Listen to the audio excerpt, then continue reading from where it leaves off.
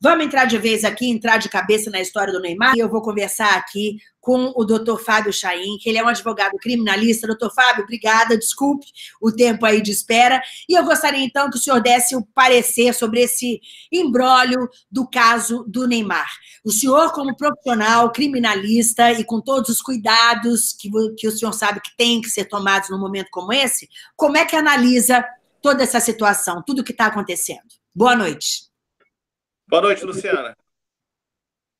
É, esse caso tem diversos aspectos que precisam ser levados em consideração. é importante ressaltar que, em qualquer momento que o parceiro ou a parceira retire seu consentimento para o ato, o crime de estupro se consuma até outra pessoa insistir.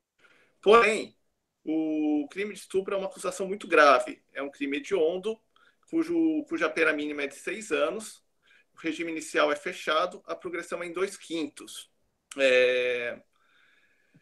E está sujeito ao rito da prisão temporária, ou seja, antes mesmo da prisão preventiva, o acusado pode ser preso por 30 dias prorrogáveis por mais 30.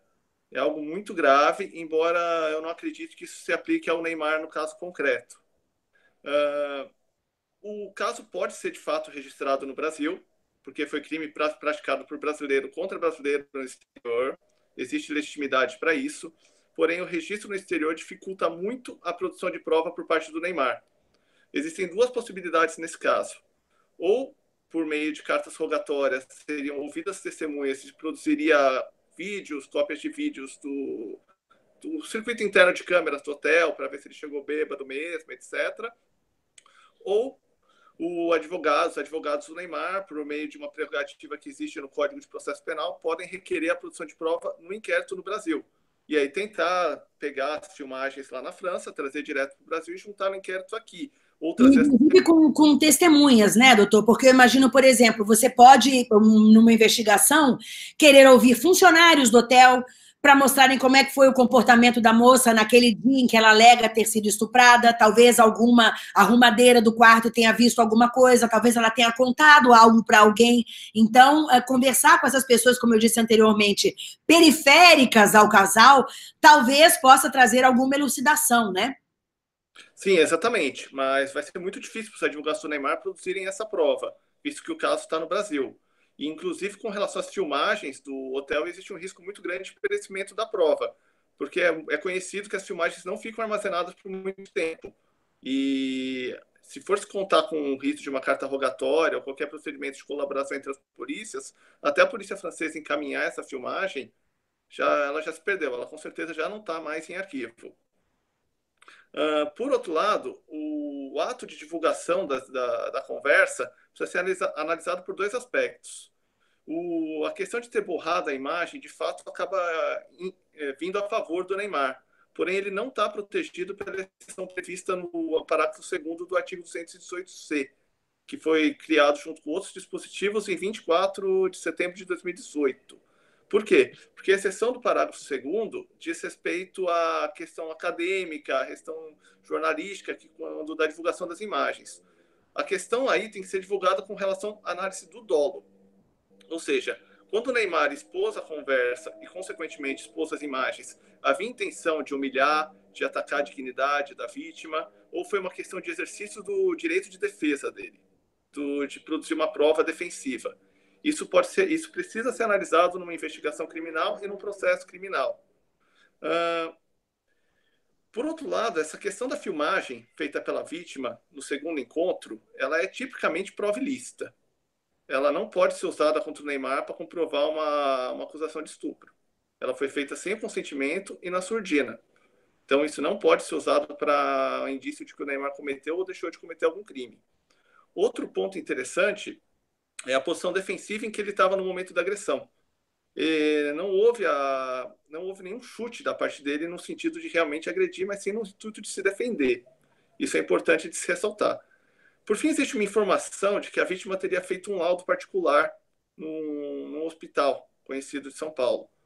A cor desse ferimento é importante para se analisar a data da agressão. De acordo com a cor que tiver nesse ferimento, pode ser relacionado com a data do fato ou com ferimento posterior ou anterior. Mas, de novo, doutor, esse ferimento também não diz nada, porque tem gente que gosta de sexo uh, selvagem, né? Vamos dizer assim. Tem gente que gosta de sexo violento.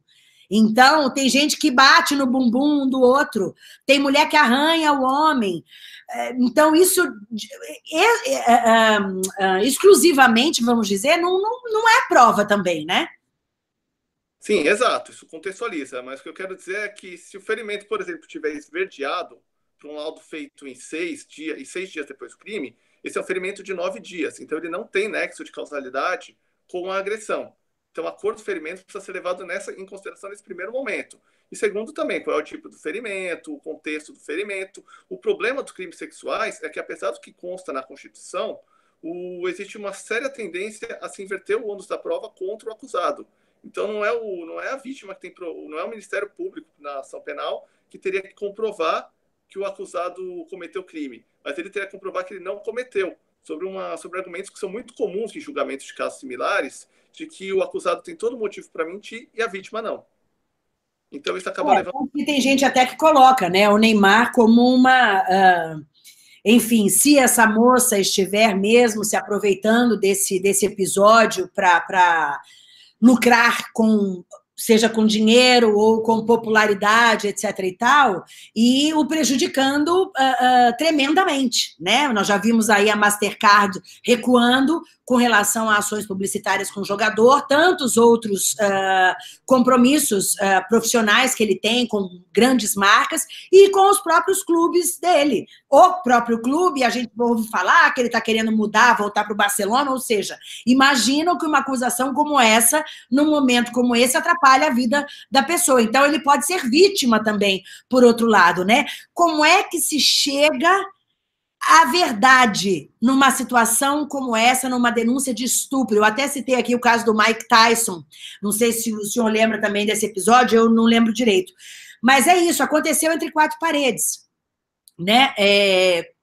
Como, é, como é que a gente vai descobrir isso? Como é que a, que a polícia vai descobrir isso? Luciana, o, existe uma visão de que o inquérito policial existe para prejuízo do cidadão investigado. A verdade é o contrário. O inquérito policial existe como uma proteção do investigado contra uma ação penal desnecessária sem provas. Então, nesse momento, vai ser realizada uma investigação, buscando-se indícios de autoria e prova de materialidade do crime, por meio dos laudos, e o Ministério Público entendendo que há indícios suficientes para entrar com a ação penal, a ação penal seria iniciada contra o jogador. Advogado, os advogados do Neymar, eles têm a prerrogativa profissional de requerer provas no inquérito policial. Então, eles podem, sim, exercer um grau limitado de abre aspas, contraditório, para que a prova seja produzida da maneira mais imparcial possível, até permitindo um futuro arquivamento desse inquérito por parte do, de um pedido do Ministério Público e uma decisão do juiz. O importante para ressaltar nesse caso é que as consequências jurídicas para a vítima do, do crime de referentes à falsa comunicação de crime ou a uma eventual fraude processual são muito leves. Não existe um fator que desencoraje uma falsa comunicação de crime. O, a falsa comunicação de crime ela possui pena de um a seis meses, é rito de juizado especial criminal, é sujeito à transação penal, sujeito à suspensão condicional do processo, ou seja, a chance de não haver uma ação é muito grande. Certo.